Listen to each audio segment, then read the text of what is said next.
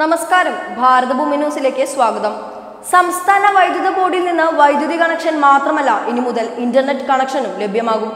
ആറുമാസത്തിനുള്ളിൽ പദ്ധതി യാഥാർത്ഥ്യമാക്കാൻ ഒരുങ്ങുകയാണ് K Kerala fibre optic network അഥവാ കെ ഫോൺ എന്ന പേരിൽ സംസ്ഥാന ഐ ടി മിഷനും വൈദ്യുത ബോർഡും സഹകരിച്ചാണ് പദ്ധതി യാഥാർത്ഥ്യമാക്കുന്നത്.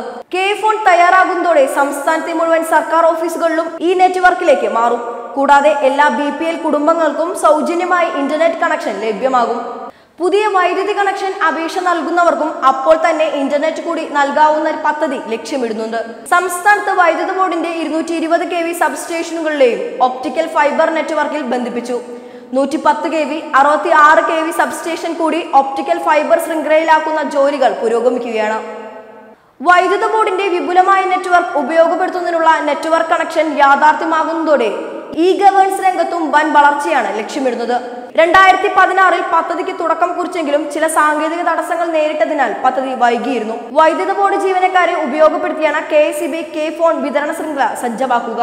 ഇന്റർനെറ്റ് കണക്ഷൻ ആവശ്യമുള്ളവരെ കണ്ടെത്തുന്നതും സാങ്കേതിക സഹായം നൽകുന്നതും സംസ്ഥാന I T മിഷനായിരിക്കും. News desk Bharatabhoomi news.